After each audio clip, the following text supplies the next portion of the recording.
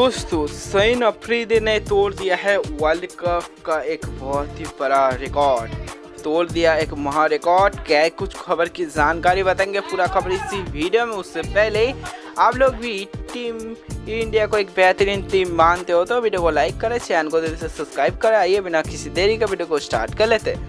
दोस्तों, आप लोग की जानकारी के बता दो, अभी टीम पाकिस्तान बहुत ही बुरा फ्लॉप चल रहा है।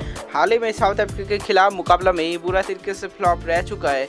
और अभी जो यहाँ पर बांग्लादेश टीम के खिलाफ एक मुकाबला में यहाँ पर अच्छा प्रदर्शन दिखा है। वाले यहाँ पर बांग्लादेश टीम को सबसे कमज़ोर टीम माना जाता है ये कोई बड़ी बात नहीं है। बांग्लादेश टीम को हराने के बाद जो टीम पाकिस्तान अच्छा फॉर्म से गुजर है।